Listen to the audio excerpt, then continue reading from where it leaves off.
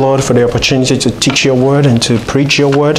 I pray, Lord, you give me the Holy Spirit, oh Lord, in full uh, fullness of measure, so I can teach your word as you have me teach it. Let me not speak of myself, and prepare our hearts to listen and to uh, and read your word and to prove these things I've said, Lord. In Jesus' name, I pray. All right. Um, then Leviticus chapter 13, verse 45, it says, "And the leper." In whom the plague is, his clothes shall be rent and his head bare, and he shall put a covering upon his upper lip and shall cry, Unclean, unclean. All the days wherein the plague shall be in him, he shall be defiled. He is unclean. He shall dwell alone. Without the camp shall his habitation be.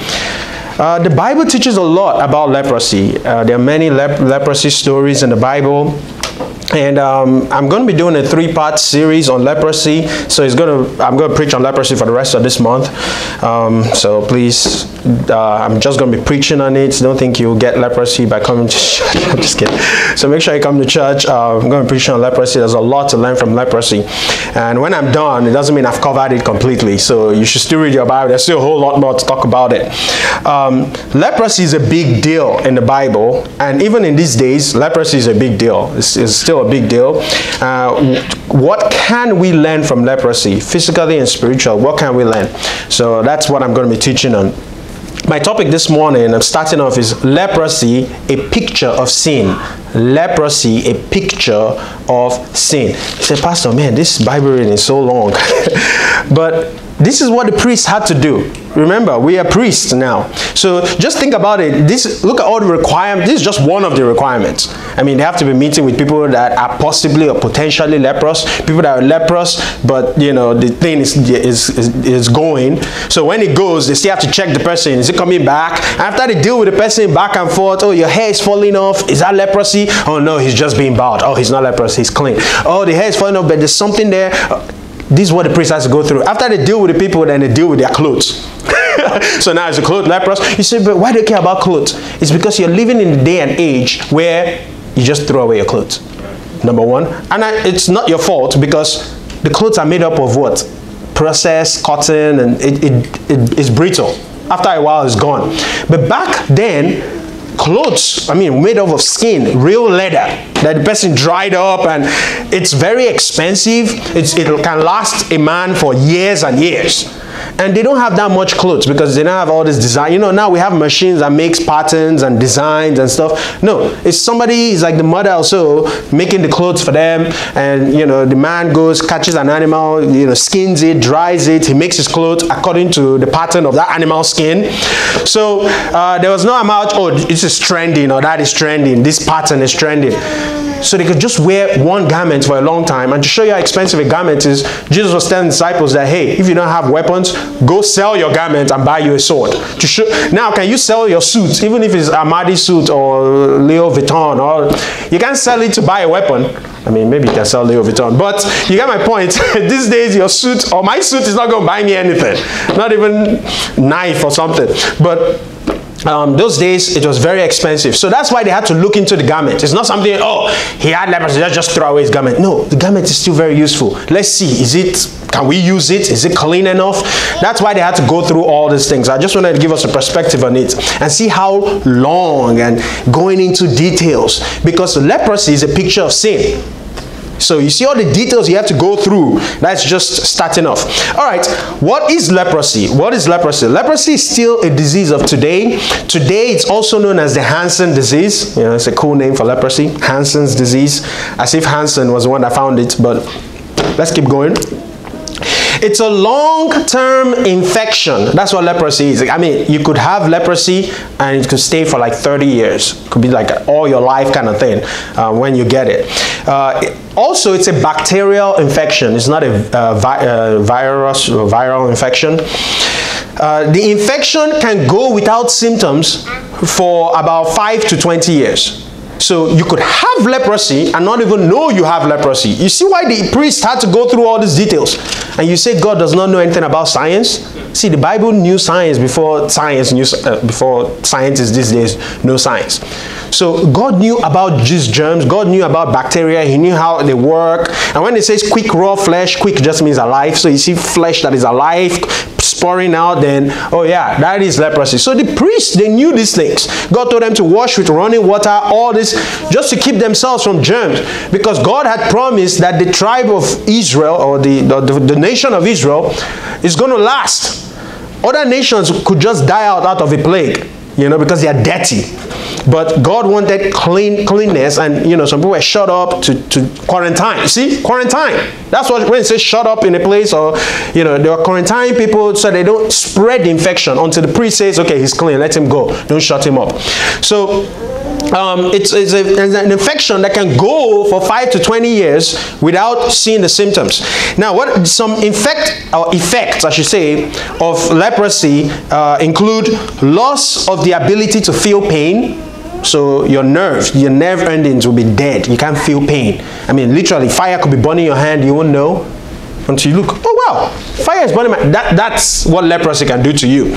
So, uh, in fact, I'll go to go through them one at a time. I'll focus more on them. Number two, loss of extremities that means your limbs your fingers why would you lose your extremities it goes in part with loss of the ability to feel pain how do you know somebody's stepping on your toes it's because you feel it ouch how do you know something heavy landed on your toes because you feel it. And because you felt it before, when you see heavy things, you know the pain, you know the feeling. Now, if you can't feel it, someone can just chop off your toes or your fingers and you won't even know until you see blood. You'll be like, where's this blood coming from? I remember cutting myself one time in the bathroom. I didn't know. I just hit my toe and I cut myself. And I just thought I hit my toe. I was feeling the pain, but I just thought I hit my toe. So I looked at the, uh, the, the mats in the bathroom. I was like, why is there blood? Oh! so I would have known, you know. Imagine if I didn't feel anything. I'll be like, so where is the blood coming from? I, but I, I felt a pain, but I just thought it was nothing until you see blood everywhere. So that's what happened to leprous people. They lose, that's why leprous people start losing their fingers slowly, start losing their extremities. You know, their ears is chopping off, things are just chopping off, their hair falling out, stuff like that. Another effect of leprosy is weakness. You know, they, they get weak, you know, naturally their strength is dying because leprosy is killing is killing them slowly. The body's fighting it, but it's killing them slowly. And another effect is poor eyesight. See, I think the, the whole there's a whole list of effects of leprosy. I'm not going to go through all of them. I just picked these ones because I wanted to touch them spiritually. Leprosy is a picture of sin, and let's look at these ones spiritually and see how it applies. Um, open your Bibles to James chapter 1. James chapter 1. As I said, the picture of sin, let's take it as a parable. It's not, you know, perfect one to one. You know, no parable is perfect. It's just showing you what it, it is like, sort of, using the physical to explain the spiritual. So it's a long-term disease. Sin is also a long, sin is also long-term. Right? Let's put it that way. Sin is also long term. It could take years for the symptoms to show, but the end thereof is death. So if you leave sin in you, you might not even know that this is destroying you. Those symptoms will show, right? Maybe you're stealing and stealing. In fact, you're looking better and better. You have this, you have that. By the end, it's destruction. You know, it one sin will lead to another sin, to another sin. That's how leprosy works. You know, the bacteria is growing, it's growing. It's not even a virus. That's the thing about leprosy. It's not a virus. You know, viruses, they just multiply and they just take over your whole body and that's it. You're gone. But bacteria, you know, is slower and you can there's something called uh, uh, what's it called? Antibacterial. I don't even know what it's called again now. Antibacterial, right? So something that can kill bacteria. But what do you do about virus? You know? So, but it's not even a virus. You're there in James chapter 1 uh, sin is long time. James chapter 1, verse 12. The Bible says, Blessed is the man that endureth temptation, for when he is tried, he shall receive the crown of life, which the Lord had promised to them that love him. Let no man say when he is tempted, I am tempted of God, for God cannot be tempted with, uh, with evil, neither tempted he any man. Verse 14. But every man is tempted when he's drawn away of his own lust. See, that's when it begins. This is the beginning. You don't even know what's going on. You're being drawn away from your own lust and enticed. Verse 15. Then, when lust had conceived, it bringeth forth sin, and sin, when it is finished, bringeth forth death. So, it leading to death because the wages of sin is death. And that's what leprosy does. It starts you can once you catch it you can easily clean it off or you know wash and fight it. But if you don't catch it or you don't even know because symptoms are not showing for 5 to 20 years and you're, you're still living in dirt you're, you're, you're dirty or unclean i should say at the end is death. And you get to a point where you cannot change it. What, what are examples of this of sin? Not reading your bible Oh, it's just, you're not reading your Bible. It's just nothing. Man shall not live by bread alone, but by every word that proceeds from the mouth of God. So, God has told you to read your, the Bible. If not, you're dying slowly. So, uh, you're not reading your Bible to lead to another sin. You know, not reading your Bible will lead to sin, basically, because you're now feeding the flesh. And the flesh shall now do the lust of the flesh, which is against what the Spirit wants. So, the lust, uh, they, they're against each other. Um, so not reading your Bible or not praying, we talked about praying here, so the right kind of prayer too. Not attending church, uh, uh, the end result of untrained children. See, you are not training your children, you know what the end is going to be. It's because foolishness is bound in the heart of a child, and the rod of correction driveth far from him. So don't pity, uh, uh, beat the child as the Bible says. It doesn't say, you know, harm the child. Just beat the child as the Bible says, and you will save his soul from hell. That's what the Bible says. You know. So another sin, divorce.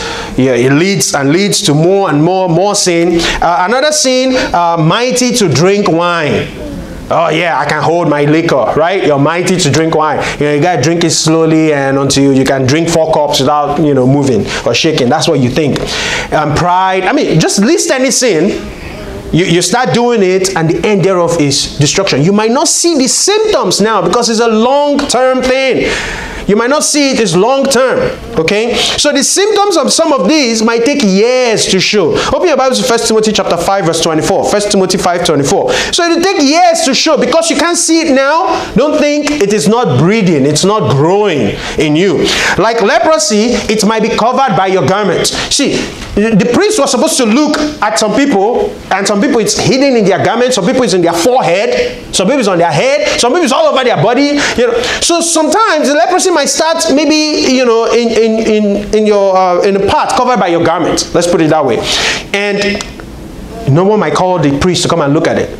And you know no one might see it to show the priest. And you yourself because you don't want to be put out of the camp you don't want to show the priest you're like handling it handling it. And you're mixing with people right? You're mixing with people and you're going to start spreading it very soon. See how dangerous sin is. Oh i can handle it. You don't want to just you know do what god says you know, now we're all priests, so you can examine yourself. I'll get to that point. You don't do what God says. You want to just hide it. You know, sin can be covered by your garments, as uh, covered by, you know, you dress up well, you look well, you, everything is going on well. But what are you? You're a whited sepulcher. You're stealing. You're committing fornication, adultery. But you come to church, you lift up holy hands with the brethren. You see, you're covering the sin right? So uh, but for some for some they cannot cover the leprosy because it's on their beard it's on their forehead right? It's on the face of the, uh, so some people cannot cover leprosy while some people can cover the leprosy. It depends on where it breaks out. Remember king uzziah or uzziah right? King uzziah he wanted to uh, um, offer incense in the temple of god and the priests were like no you can't do it. You're not supposed to do it. It's only the priest that's supposed to do it.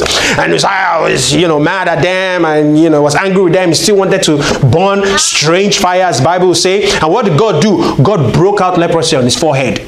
On his forehead. So it's not like in his body where you hide it. Straight on his forehead. So he was shut out in his house until he died. So that's how King Uzziah, a man of God, because he thought he could do more than what God told him to do. It's like you trying to think, oh yeah, pastor, I, I, I'm supposed to be the pastor or something. You know, um, you might be a man of God, you might be doing the right things, but just that one thing, you know, because God hates it when you go out of your place, like a woman going out of her place, uh, her roles, or a man going out of his own role, you know, things like that. God wants you to do what He says you should do. No more, no less.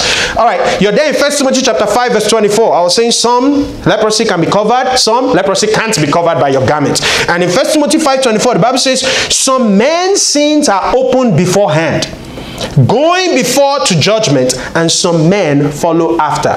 What am I talking about? There are some people, you see them with the tattoos, right? All over their body, you know, gang signs, all of that, tattoos all over their body. And you look at the person, you're like, wow, dude, you, you, you, you lived in the world, right? I mean, it's so clear that they were worldly people, that they didn't know God, all of that. While there are some people, you, you didn't know that they just came from the club, yes, last night. So it's covered right? But it's, it's going to show afterwards. You know those people going to club those people hiding their sins sins that you can't see while there are some other people that have been smoking their teeth when they say ah brother how you doing? Back ooh you know the teeth you know smoke everything. You can see the sin on some people's body right? While some people you can't see the sin uh, and uh, or their dressing or things like that some men's sins are beforehand some other men's sins are uh, will follow after. So everyone sins, just know that. Because you can see someone sin and because you, you can see another person sin doesn't mean one person is better than another. So the Bible makes it very clear to us.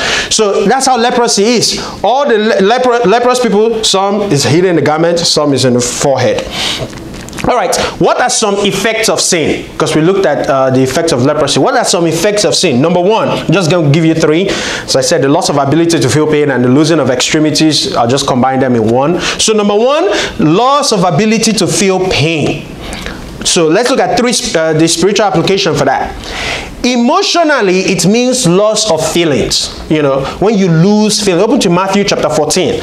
You, you, you don't feel pain anymore, right? When you're leprous that's one of the symptoms, what, what it gives you. You don't feel pain, no nerves, nothing. You're just who you are. So you might feel like you're strong.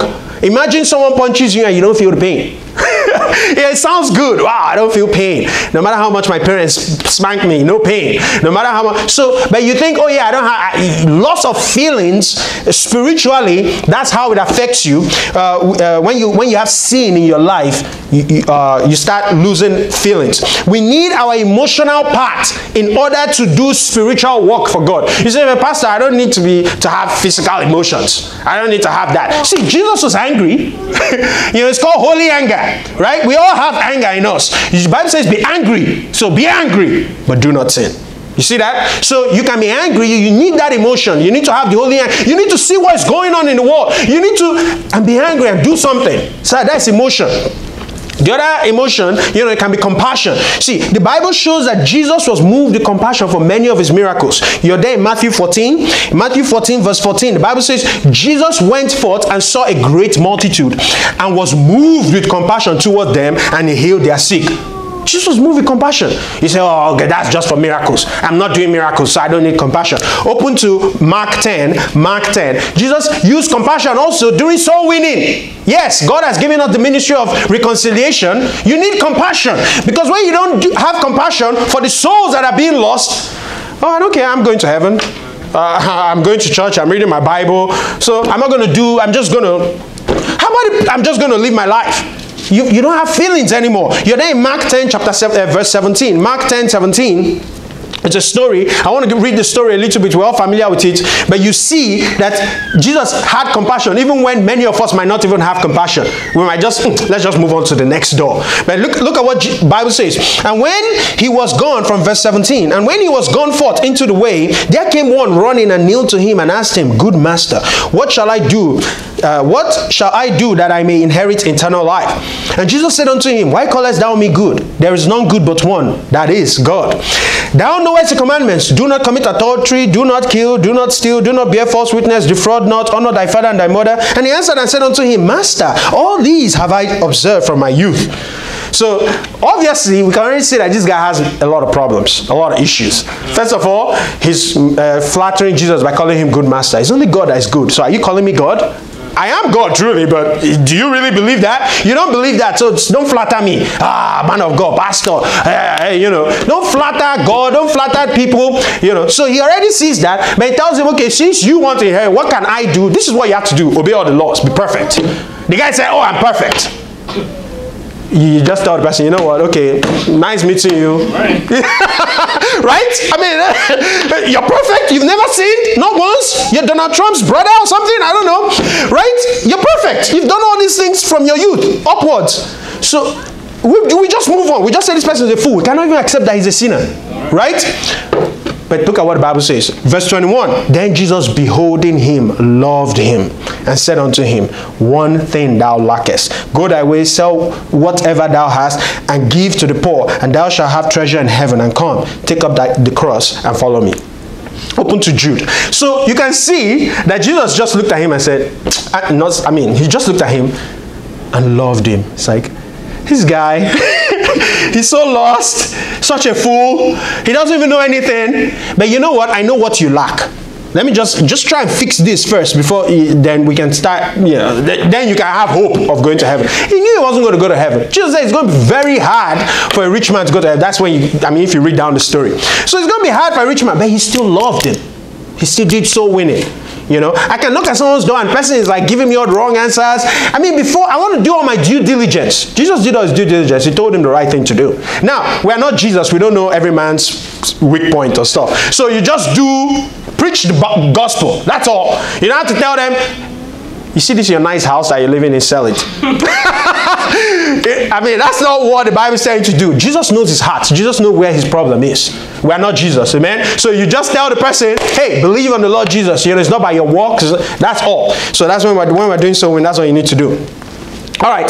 So the next point here, the Bible tells us to have compassion. You say, oh, okay, yes, Pastor is saying you should have compassion. That's nice. But does the Bible command us to have compassion? Yes, the Bible does. Right? If you keep reading from Genesis, you read Exodus, Leviticus, Numbers, you know, you just keep reading, reading, reading, reading, reading. You probably get to Jude before Revelation. So when you get to Jude, verse 22, that's why you got to read your whole Bible, right? yeah, I've been reading. I'm already in, you know, Acts of the Apostles or, or, or Philemon or something. I'm not saying the Bible says have compassion. Really? Okay, so in Jude chapter 1, there's only one chapter, verse 22 and 23, the Bible says, And of some have compassion, making a difference. Uh, that, that's direct. That's telling you to have compassion. So when you lose feelings, you don't feel for people. I, I don't know. Is, is there some kind of leprosy in your life? Um, and so, so, and so for some, have compassion, making a difference, verse 23, and others save with fear, pulling them out of the fire, hating even the garment spotted by the flesh. Now, when it says hating even the garment spotted by the flesh, what does it remind you of? Our Bible reading. Did you see all what the priest had to go through with the garment? Right? See, pain is necessary for survival, right? And having compassion is necessary, you know, to do the work of God, to do uh, what God wants us to do. Now, when God says have compassion and save these people, right? The priest, do, who, who do you think the priest wants to save more? The person or his garment? right? right? So the priest wants to save the guy, and as he's trying to save the guy, he's hating the garment spotted by that quick flesh, you know, the, the, flesh, the spores. So he doesn't want the garment. He's like, you know, go and wash, you know, stay in the, the place. He wants to save the person, but he hates the garment spotted by that flesh. That's what you know. Jude, these people are preaching from the Bible. They didn't have New Testament when they were preaching. They were writing the New Testament. So they are preaching about sin, about soul winning from Leviticus, as I'm preaching right now. So you read it, like, Pastor, why, why, are we reading all this? This is what they preach from, from the early church. And that's why they were, they were great, mighty. All scripture is, is uh, profitable for doctrine, for reproof, for, uh, for correction, so that man of God may be perfect, lacking nothing. That's what the Bible says. Amen. I probably paraphrase that one a little bit. But all scripture is useful. So this is useful. I know it's kind of long, but it was useful. Reading it to show you all the parts. So the garment spotted by the flesh, you hate that garment, but you want to save the person. Because the person is like leprous. You're, you're, going there, you're trying to teach them, but the priest still had to go in there. Even if it, the spores were coming out, the priest still had to go in there and help that person and see, oh, let's put you apart. Let's try and go wash yourself. Telling the person what he needs to do. But there are some people that the priest cannot help. Right? There's some there's some leprous people. Okay, he sees the thing changing. He says, "Go, okay, go and stay for a little bit." There's some people can't help because when they come back, that's come up again. Or when they come back, might be white. So they'll say, "Okay, yeah, you're clean. Now you can come out." Now they might still have scars and spots and stuff, but after a while, what happens to the skin? It keeps peeling off. It keeps peeling off, and they look better. They look like all us, right? So new believers coming here, they might look all, all leprous, right? But it's all whited out, right? After a while, they keep being clean and not living in uncleanness guess what? Their skin will come back normal. Their garments will be washed. You see that? Leprosy is a picture of sin. So yeah, pain is necessary for survival and stopping only or sorry, how about? Don't try to fix only the headache. right? And now I'm giving you physical application. when you have a headache, it's not just that your head just felt like paining you. There's something wrong. Headache is a sign that hey, something is wrong. You, maybe you're falling sick from something else or falling sick from something. But maybe you have a headache, you know, you go straight to Panadol Extra. I'm kidding. You go straight to Tylenol, or I don't know what, what, we buy here. Something. You go straight to a, a medicine um, so that for just for the headache. Oh, have a headache. Let me fix the headache. Fix the headache. Fix the headache. While something else is dying in your body, something else is being affected, then you fall sick because you're no more feeling the headache anymore. So you continue, maybe eh, overworking yourself, or I don't know what was happening, but you continue doing that thing you were doing because you don't feel the headache, right? Instead of don't just try to fix the headache. The headache, pain, emotions is trying to get your attention. Wow, see what's going on in the world. And that's why God wants us to go soul winning. Because when you knock at people's doors, at the end of that, you'll be like, man, I need to come back and continue. People are lost. Some people think nobody else can go to heaven. Some people are saying, oh, it's only 144,000 people going to heaven. Really? That's what you believe? Like, are people this lost? So it's like a wake up call. Hey, people are going to hell in batches because they just don't know. So, uh, pain is to get your attention. And if it doesn't get that, if your, your attention is not being gotten, you're going to destroy yourself. Open to 1 Timothy chapter 4. 1 Timothy chapter 4. So the loss of the ability to feel pain is also the searing of the conscience. You know, when your conscience is seared, like with a hot iron, you, you can't feel anymore. Uh, God is telling you to do something, but you don't feel it. You feel, oh, I'm fine. Oh, I'm, I'm okay. Your, your conscience is seared concerning that. Oh, that one is for you people. I can't do that. Uh, reading a Bible thing. Mm I can't just be reading my Bible, reading my Bible. I'll just come to church. I mean, I'll come to church, I'll listen. Um, I don't have to. No, no, no. Don't sear your conscience concerning things because then you're losing your ability to feel. You're no more feeling. In 1 Timothy chapter 4, verse 1, now the Spirit speaketh expressly that in the latter times some shall depart from the faith, giving heed to seducing spirit and doctrines of devils, speaking lies in hypocrisy, having their conscience seared with a hot iron, forbidding to marry and commanding to abstain from meat which God had created to be received with thanksgiving of them which believe and know the truth. So their conscience are seared with a hot iron because they are losing their, their ability to feel, to feel pain, to feel have compassion, all those. You're just your conscience with hot iron. And I believe that's an application. In Titus chapter 1, verse 15, I have to open there. Titus 1 15 says, Unto the pure all things are pure, but unto them that are defiled and unbelieving is nothing pure, but even their mind and conscience is defiled. Remember, it says the, the leprous man is defiled right so unto the pure all things are pure but them that are defiled unto them are defiled and unbelieving guess what nothing is pure Everything is defiled. Even their mind, even their conscience is seared. They can't feel anymore. All right, the next application, another effect of um, uh, leprosy is weakness. Weakness. Open your Bible to Ephesians chapter 6. Ephesians chapter 6. I'm going to be reading from verse 10. Weakness. God commands us to be strong spiritually. I mean, God says, be strong. As you see, then Ephesians chapter 6, verse 10. Finally, my brethren, be strong in the Lord and in the power of his might. Put on the whole armor of God that ye may be able to stand against the wiles of the devil. For we wrestle not against flesh and blood, but against principalities principalities, against powers, against rulers of the darkness of this world, against spiritual wickedness in high places. Wherefore, take unto you the whole armor of God, that ye may be able to, to with, uh, that ye may be able to withstand in the evil day, and having done all to stand. See, leprous people, by the time they start losing their extremities and stuff, they can't even stand. They can't wear an armor. They can't join the men to go and fight. They are weak. They become weaklings. You know, it slowly but surely it gets to that point. Um, so uh, the Bible says the weapons of our warfare are not carnal, but mighty through God to the pulling down of strongholds. So we should be strong so that we can we can fight for God. But if you're not strong in the Lord, then maybe sin is the chink in your armor. Maybe sin is is penetrating into your life. So leprosy, examine yourself, right? Check yourself because sin will make you spiritually weak you will not have the armor of God, you will not be able to stand or withstand. And this Bible, as I said, will keep you from sin, or sin will keep you from the Bible. Let's look at the third point here, the third spiritual application poor eyesight. Poor eyesight. Leprous people start having poor eyesight in Romans chapter 1, verse 17. Romans chapter 1, verse 17. And say, Pastor, you could just use this for AIDS too. You could use this for many diseases also. Yes, it's a disease. Sin is a disease. It's a sickness. It's killing you. The end of all these things is death. But leprosy is a very good one because people in the Bible, they just think, uh, like in the Bible days, once you have leprosy, it's like, whoa, you sinned. it's just associated with sin. Now, it's not necessarily associated with sin. Like if you have leprosy right now, doesn't mean, oh yeah, you lived in sin or something. But throughout the Bible, you see it quickly associated with sin. Once somebody has leprosy, they believe it's just a punishment from God. Because when God wants to punish somebody like Miriam, just leprosy, uh, this leprosy, leprosy, you know, all of that. So it's not necessarily associated with sin because, you, as, uh, I mean, it's not necessarily because of sin. Because as you can see in the Levites, when they were going through it, he didn't say, oh, once you see the white spot, tell him to go and give an offering for the sins he has committed. You see, you didn't see that.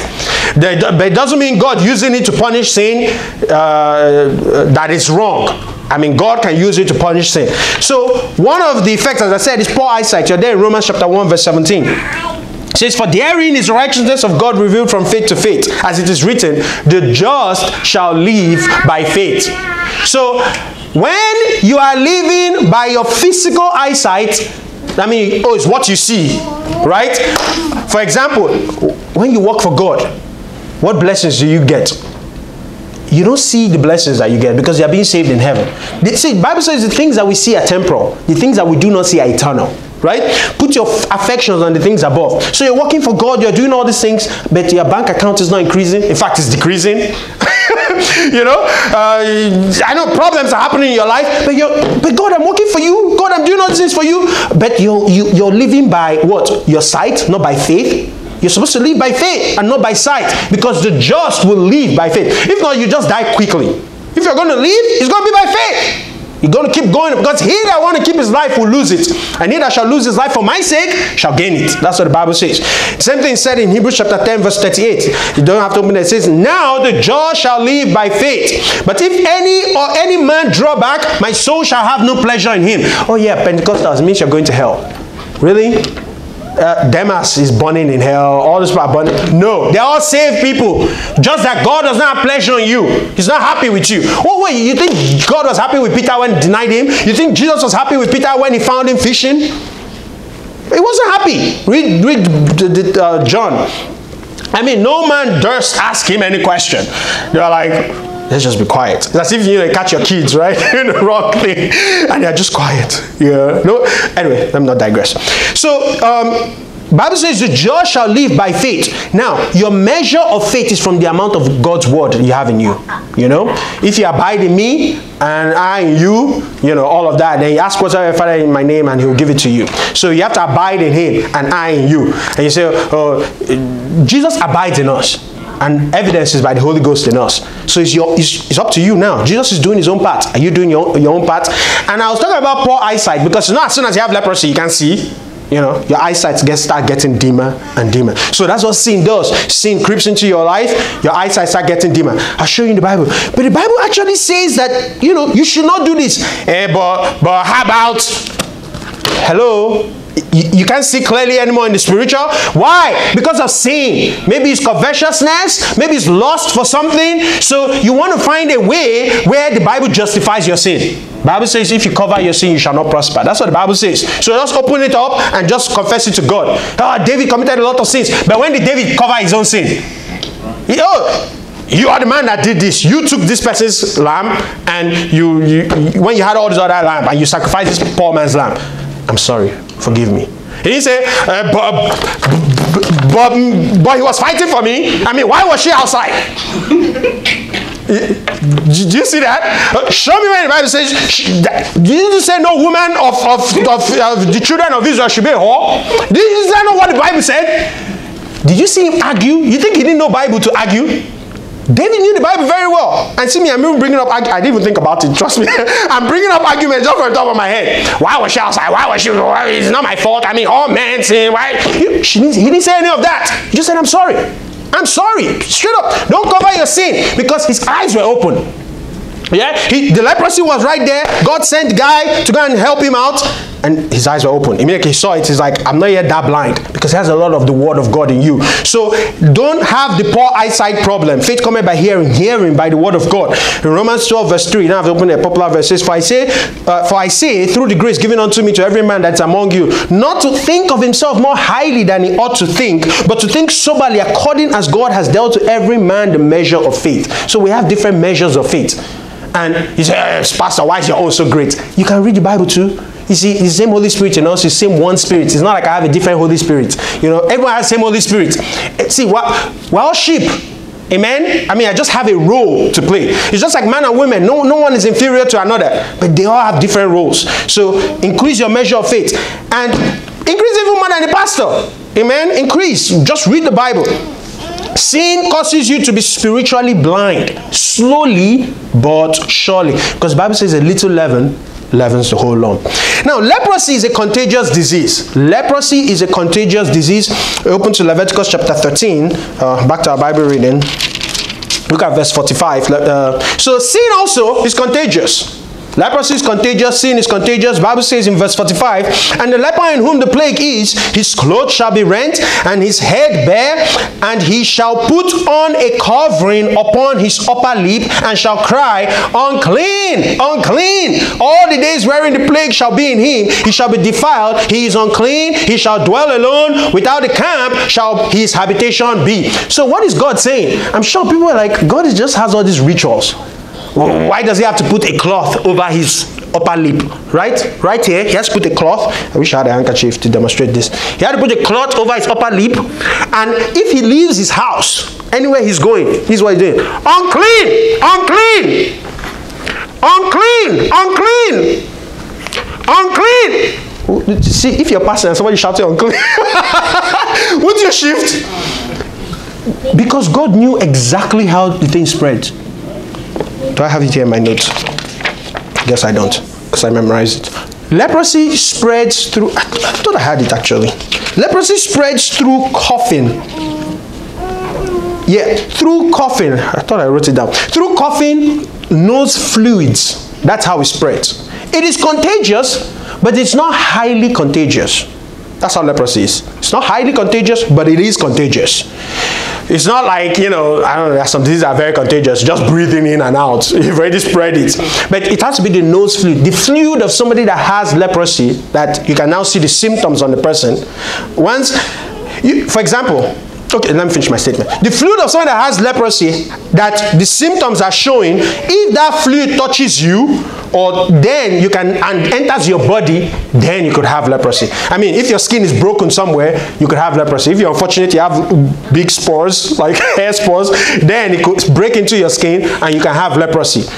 That's how, so it's, it's actually very difficult. I mean, not very difficult. It's actually not that easy to uh, get leprosy just by standing next to somebody having leprosy. I mean, you read stories, maybe next other sermons, you read stories in Bible where the king called in leprous people and was talking to the people. Right? So it's not like, uh, or where those four leper, lepers, they found food and they went to call the people. People like, well, we're not touching it. All you lepers have touched it. No, they were hungry. anyway, you, I'll, I'll, get to all those stories. Let's just focus on sin. It's a picture of sin. So it is contagious, but it's not highly contagious. It comes through nose fluids. And Jesus knew that. God knew that in his laws, he said they should cover their nose and shout unclean to warn people. Isn't God wise? Doesn't he know science before science was known by man? See, the Bible says eh, the king that uncovers something is for his own pleasure. Ah, jeez, I'm, I'm misquoting it. Let me let me read it. Proverbs chapter 16. Is it 16? No. Okay. Maybe it's Proverbs chapter 10. Okay, I can't find it. it's talking about the king. Uh,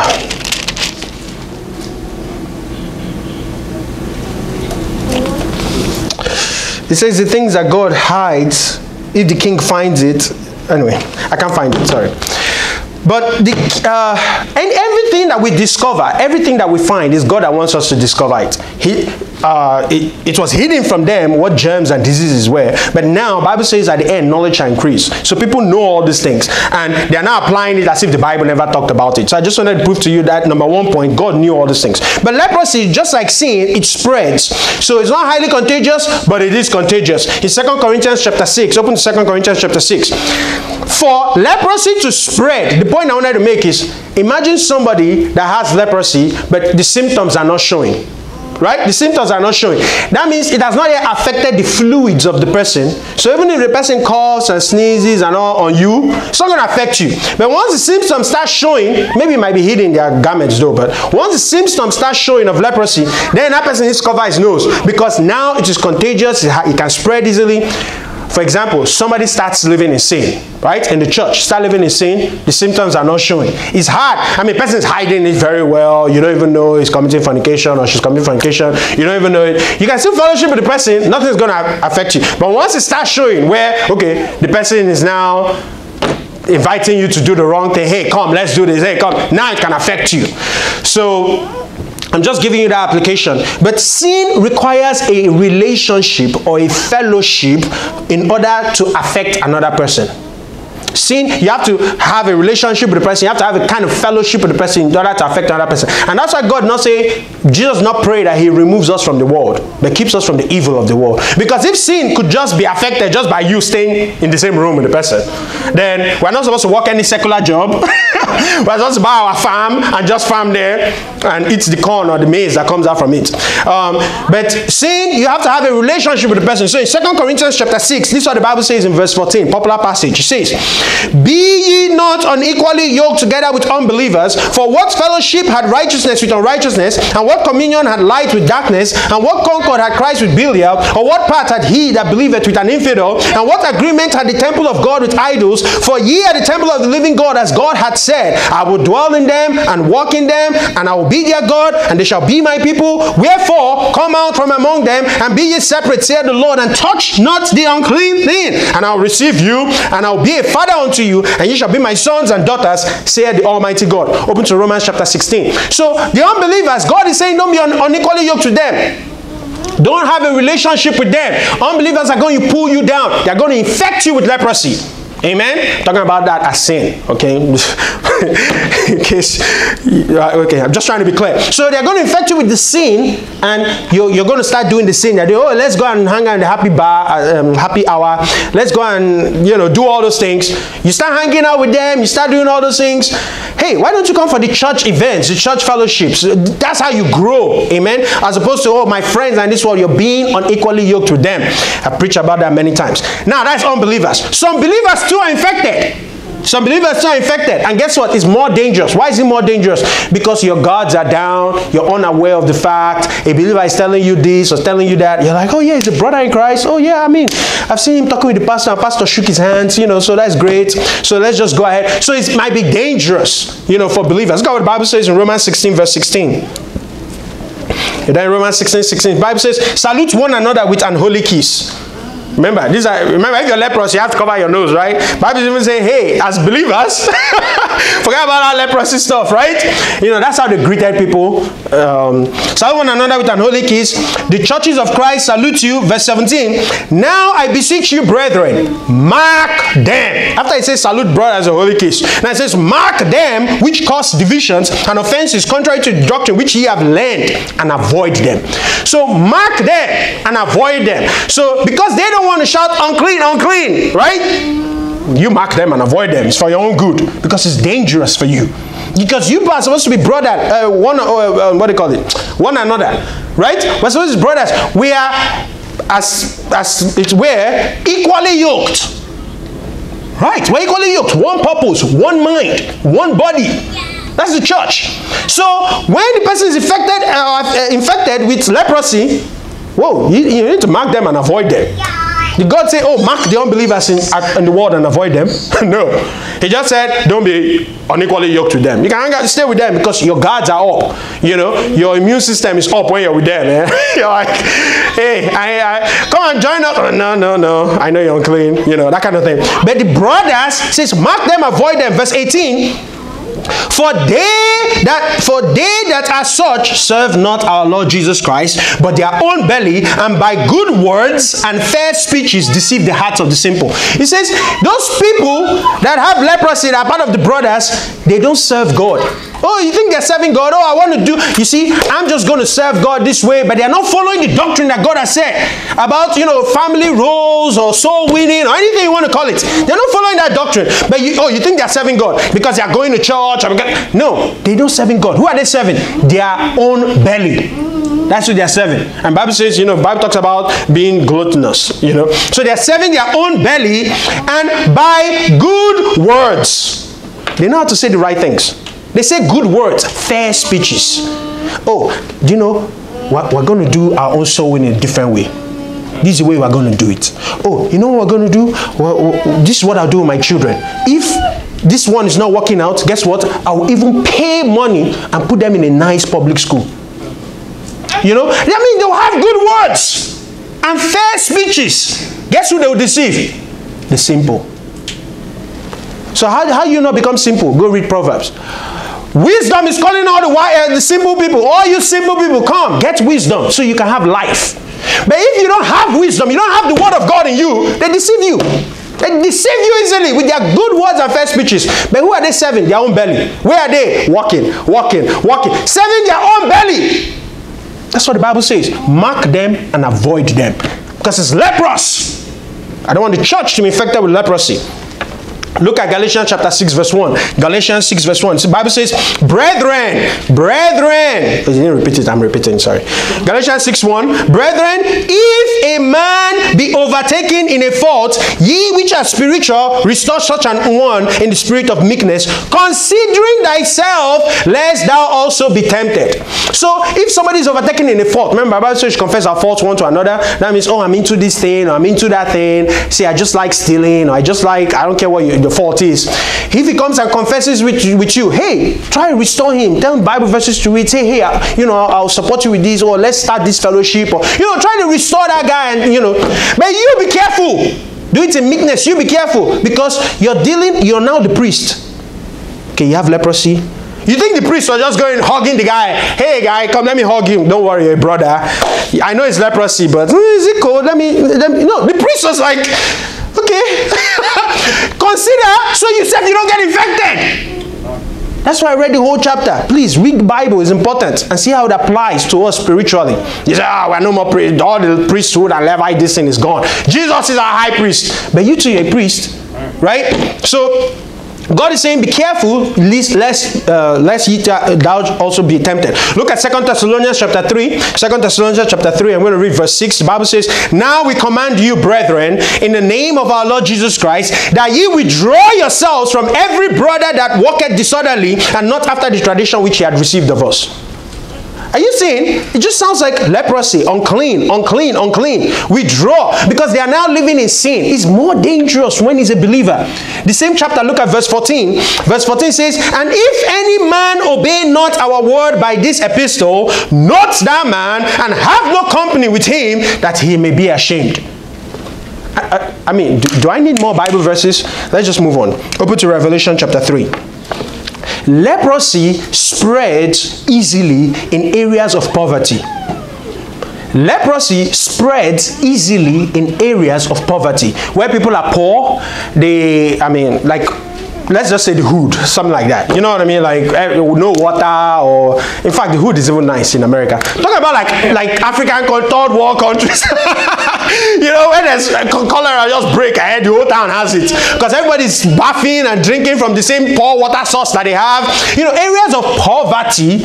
That's where leprosy spreads. That's picture that. You know, people are dirty. People don't have shoes. People don't bath for two days because they're even drinking bathing water. You know, stuff like that. Uh, look at Revelation chapter 3, you're there, verse 14. This talking about the Laodicean church is a perfect example of the spread of leprosy because they were poor. In Revelation 3, verse 14, remember these are spiritual applications. Verse 14, Bible says, And unto the angel of the church of, of the Laodiceans write, These things said the Amen, the faithful and true witness, the beginning of the creation of God. I know thy works, and thou art neither cold nor hot. I would thou uh, I would thou wert cold or hot. So then, because thou art lukewarm and neither cold or, nor hot, I will speed thee out of my mouth, because thou sayest, I am rich and increased with goods, and have need of nothing, and knowest not that thou art wretched and miserable and poor and blind and naked. I mean, look at this description. Physically, it fits third world countries, right? They are wretched they're miserable. I mean, their best clothes are when the NFL game, the guy lost in the Super Bowl, so they've already made all those clothes, so they ship it to them. That's the new clothes they wear, right? Oh, but I've been giving money to Red Cross, uh, and the CEO is making $200 million an hour, uh, I say an hour, a year, and shipping them what? Used clothes. Yeah. Just, in fact, let's focus. All right, wretched, miserable, poor, blind, naked. I mean, have you seen some of them flies stopping their eyes so much they don't even touch the fly anymore? I, I, no, I'm, I'm, I'm, not even playing. I'm serious. I'm not trying to be funny. I'm actually. You see how flies all over their body, walking on their face, and they just continue as their life because it's no no use anymore. You keep doing it for the rest of your life. so that is how they are spiritually. So you see these people. That's how God looked at the Laodicean church and saw them. It's like Guys, what's going on? You guys think you're rich? You guys think you have all these things, but you are wretched, poor, uh, wretched, miserable, poor, and blind and naked. I counsel thee to buy of me gold tried in, in the fire, and that thou mayest be rich, and white raiment, that thou mayest be clothed, and that the shame of thy nakedness do not appear, and anoint thine eyes with eye salve, that thou mayest see. Okay, so it goes on and on. My point is, this is a church. This is brethren that are poor in the spirit. So what's spreading? Leprosy. What's spread? See, they don't have shoes. Why? Because they have not equipped themselves with the readiness to spread the gospel. They don't share the gospel. So they're walking without shoes. They don't have clothes. They are naked, showing their nakedness physically and spirit. I mean, you know, they just Spiritually, so leprosy just spreads easily. Somebody just has to come in with leprosy, and that's it. The church is spread. A little level levels the whole lump. That's why I focus on all these things so that we don't end up like them. So that we we we stay the spread of leprosy. All right, let's move on. Leprosy is curable. Open to First John chapter 1. Leprosy is curable. As I said in the beginning, it is a bacterial infection. Amen. Sin also is forgivable. You can be forgiven. Oh, once I have leprosy, my life is over. I saw a symptom. It, it broke out on my face. My life is over. Oh, pastor said once you have leprosy, you're dead. No, it's bacterial infection. It's not even viral.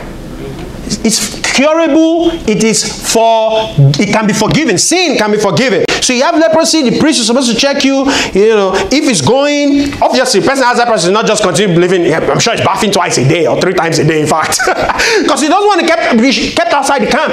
He's making sure he's very clean. He's keeping himself clean. So once he breaks out or something, then on your point, you start keeping yourself clean because it, I said, Pastor, the priest is coming to check you in seven days.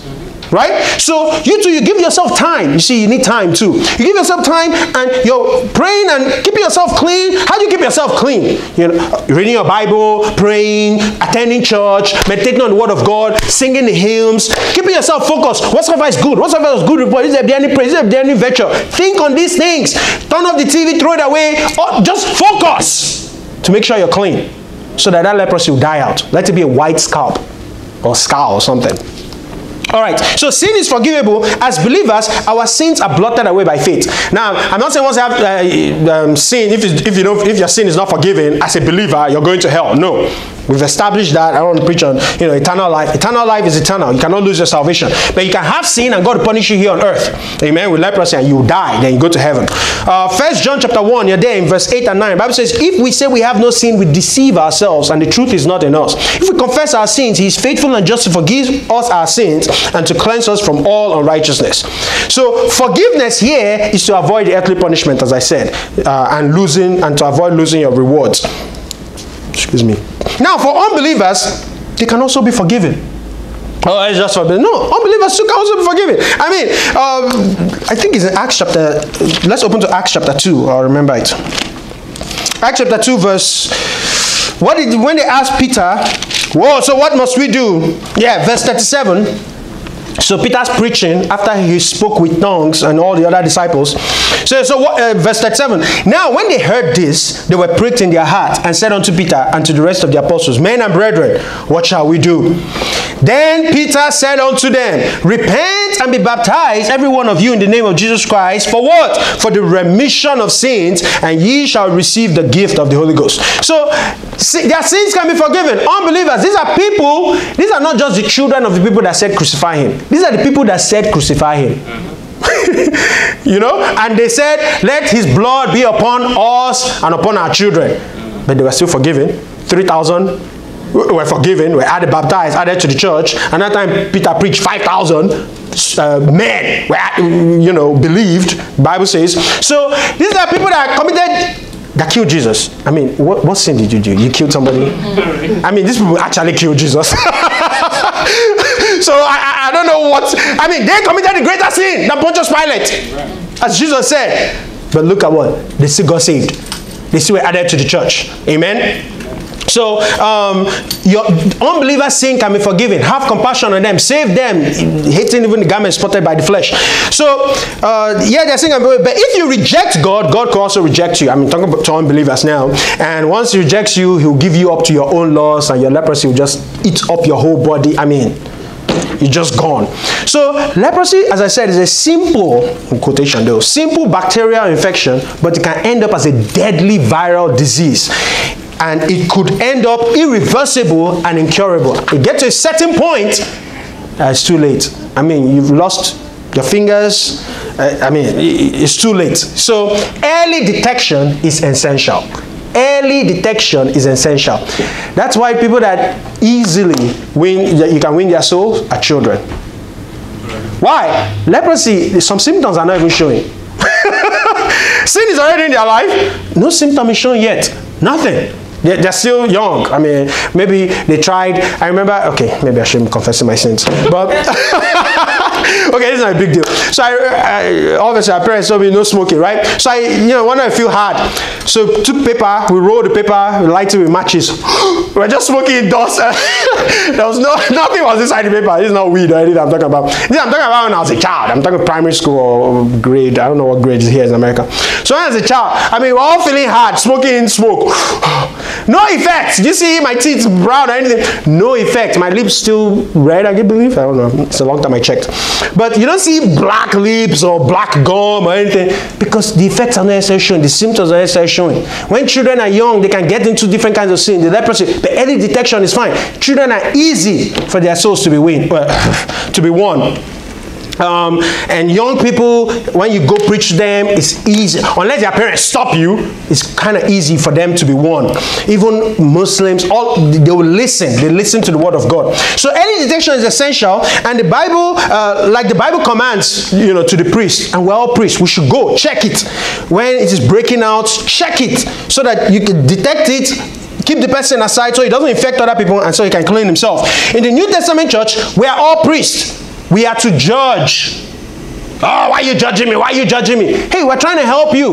We're trying to be priests unto you. Did that guy tell the priest, why are you checking me? Why are you, you know, why are you doing it? No, he just followed the word of God because that is the commandment of the word of God. He can read it by himself. In Lamentations chapter uh, 3, verse 40, uh, Lamentations 3 verse 40, Bible says, Let us search and try our ways and turn again to the Lord. So you're supposed to search yourself. You're supposed to try yourself. You're supposed to be a priest unto yourself. Because don't wait for another priest.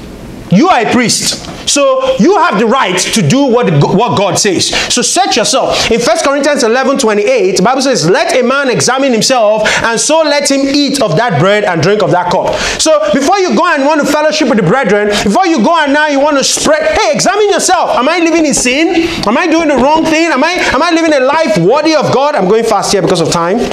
I'll soon be done though.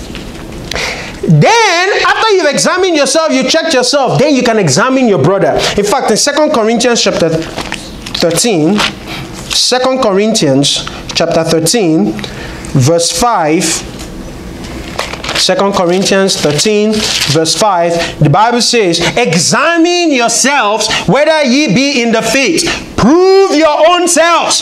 Know ye not uh, know ye not your own selves how that Jesus Christ is in you, except ye be reprobate? So God is saying, examine yourself. We are supposed to examine ourselves. Amen.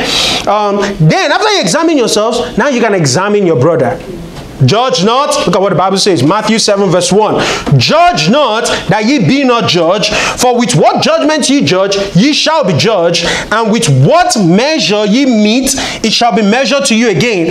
And why beholdest thou thy thou the mote, mote that is in thy brother's eye, but considereth not the beam that is in thine own eye? Or how would thou say to thy brother, Let me pull out the mote out of thine eye, and behold, and behold, the beam is in thine own eye? Thou hypocrite, First cast out the beam out of thine own eye, then thou shalt see clearly to cast out the mote out of thy brother's eye. So you see the application as priest, you know, when there's leprosy. Before you start judging somebody in the church and say, hey, I see leprosy, I see leprosy, check yourself first. And if you say you have no sin, you deceive yourself. Now, God is saying, if your own is greater than your brother, remove your own first. You can't have a big sin in your life, then you're trying to remove the small sin in your brother's life. That is the guy that's supposed to be helping you, not you helping the guy. See what I mean? James chapter 5 verse 16 Bible says confess your faults one to another and pray for one another that ye may be healed. The effectual fervent prayer of a righteous man availeth much. So you have something in your eye. You have oh it's not a beam. Yes, it's a small speck in your eye. You know how uncomfortable it is? You know, you're like, can you blow it for me? you know, water. You, that's what you're trying to do. It's very uncomfortable. You're not going to rest until you remove that speck from your eye. So go to your brother and confess your faults. See, I was, I, I, I, no one told me about this carpentry thing. I was trying. Next to something that my eye. Or you have, um, what is it called? Splinter, right? You know, you're trying. Sometimes you need to actually injure yourself to remove the splinter, right? So it's not going to be fun. Your eye will be red after this. God is saying this is what you have to do. Somebody can help you. Confess your faults one to another. Bible says in Proverbs 27 verse 5. It's not fun, right? Proverbs 27 verse 5. Open rebuke is better than secret love the guy is going to hurt you to remove that splinter, but that's better than just saying, don't worry, don't worry. yeah, it, it does not help you. it does not help you. But you're a nice guy. You know in fact even give him small you know cake or something. Just eat relax ice cream. It's going to be fine. Going to be no the guy that comes with knife right? An alcohol swipe or something and you're like ah! That guy's the guy that loves you.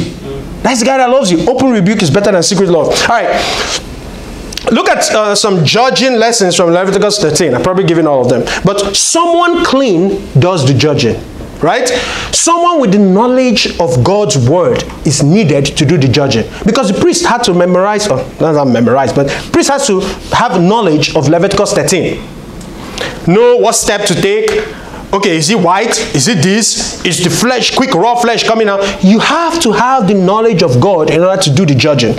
So, judging is for the good of the society. Oh, I, I, since that's his life, that's his life. I'm not going to touch him. No, it's not for his own good only. It's for the good of the society. Shut him up for seven days. Why? Be because you just like him shut up? No, it's because you like, uh, you don't want people to be infected. Oh, let him cry unclean, unclean. Are you trying to embarrass him? No, you just don't want people to be infected. You say, Pastor is trying to embarrass me. Pastor, you know, no. It is for other people too. It's for the church. I'm not looking out just for you. I'm looking out for the whole church. That's just what judging is for. And what is being judged? Leprosy. Sin is what is being judged. Oh, we're all sinners. Oh, so the priest, you know, he can never have leprosy. He can also have leprosy if he's not clean. But that's why priests they have to wash themselves, do all this washing and washing and washing. So bad that the Pharisees think you have to wash your hand before you eat. You know, um, that, that, that's part of the law of God. I mean, that's a good thing to do, but God did not command that as a law. Because all these washings and washings and washings. Open your Bibles to Jude. There are some sins that should, uh, sorry, there are some sins that should be, that should not be in the church, I should say. Um, I, I, didn't write it down well here. I should not be in the church. Okay, anyway, open to Jude. So there's some things that should not be in church, and the pastor is supposed to send them out. Uh, so because of the relationships that are in the church, I'm concluding. We are priests of God to the unbelievers. I already read this before in Jude chapter 1, verse 22. And for some have compassion, making a difference, and others save with fear, pulling them out of the fire, hating even the garment spotted by the flesh.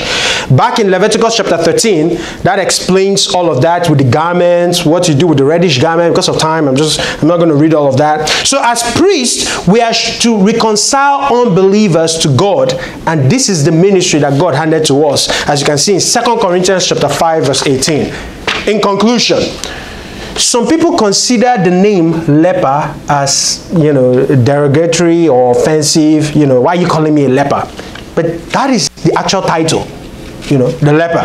You know the politically correct term of leper like instead of calling somebody a leper the politically correct term in the world we live in now is a person affected with leprosy. I, I don't even know what difference but that's politically if somebody is actually a leper and he's in the hospital and you walk in the hospital or something don't call a person a leper you say, oh, he's affected with leprosy. You know, it's just like you have headache, right? And you say, oh, you know, I, I, headache is in my head. Like, anyway, let's move on. it helps you emotionally and stuff like that. Don't get me wrong, maybe there's some benefits of it. But it's carrying over spiritually. What do I mean by that? It, it, it, this sinful generation we live in, they are changing the names of sins. You know, sins that we're supposed to judge and say, hey, you need to stay away. Hey, I can see leprosy in your body. Since you're supposed to judge, they are changing the name. People don't want to be called sinners anymore. What do they want to be called? They say, well, all sinners, so don't call me a sinner. Don't call me this name or that name. You know, they changed the name of lying. Oh, I didn't lie. I was just, you know, joking. You know, just joking. You lied. Oh, but I was just joking. But it was a lie. You see? They, so they changed that. They changed stealing to long fingers oh, he has long fingers. What, what, does that mean? You know, he stole, he steals, right? So, but he has long fingers. Uh, somebody that's a busybody, oh, he's just overzealous. he's overzealous. He's just he wants to get everything. No, you're a busybody, right? Uh, fornication. Oh, they're just living in. They're, they're shacking up or anything. You know, living in is like high class one. They're shacking up. You know, they're just you know living together uh, do you have a problem with it? Mind your own business, right?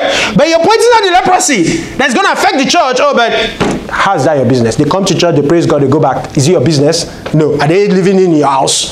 So, um, adultery, affair. Oh, you know, just had uh, they had an affair. Abortion, choice. And she, she used her choice. Uh, what? She aborted a baby or she killed a baby? No. In fact, abortion is even a nice way of saying she, murder. But they, they don't even want to say abortion. You know, people out there saying, what's, what, what they say?